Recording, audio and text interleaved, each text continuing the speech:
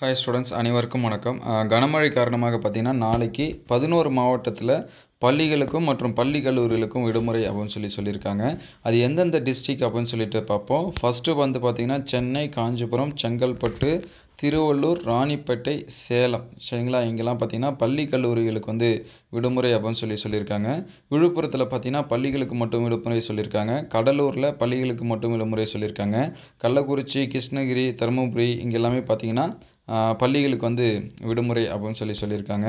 So மொத்தம் பதினோரு district வந்து விடுமுறை சொல்லியிருக்காங்க. அதில் சென்னை காஞ்சிபுரம் செங்கல்பட்டு திருவள்ளூர் ராணிப்பேட்டை சேலம் விழுப்புரம் கடலூர் கள்ளக்குறிச்சி கிருஷ்ணகிரி தருமபுரி இந்த மாவட்ட பள்ளிகளுக்கு எல்லாமே விடுமுறை அப்படின்னு சொல்லி சொல்லியிருக்காங்க.